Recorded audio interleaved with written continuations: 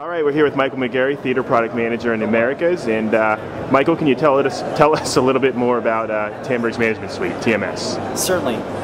This is the Tandberg Management Suite. What we're looking at is we're looking at the network view of the entire booth that we have here at VoiceCon 2009. Um, so some of the things that it does is, is it manages, as you can see, all of the endpoints and all of the infrastructure equipment. The other thing that it has the capability of doing is controlling scheduling. So we can actually control bridges, we can control endpoints, dialing another endpoint. So if we wanted to, we could actually take and automatically schedule a call to happen at a specific time. And when we do that, we'll automatically select a bridge if necessary.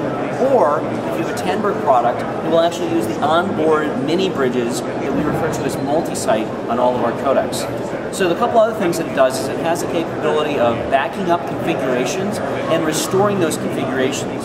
A couple of the other things is that it has the capability of creating directories and linking to external sources, like for instance Microsoft Active Directory, retrieving SIP URIs, and being able to deposit those as phone directories on all of the endpoints, all the hardware-based appliance endpoints. So that is what it is really quickly. We have a number of different integrations though. With Exchange, we have the ability to schedule using Microsoft Exchange or Lotus Domino notes for calendaring. In addition, we have a third-party API tool that someone can actually write an XML API interface to for scheduling purposes.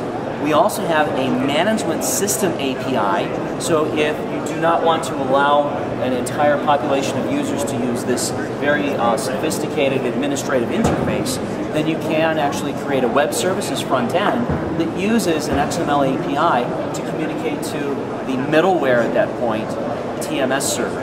Thanks and uh, for listening to me and have a great day. Thank you, Michael.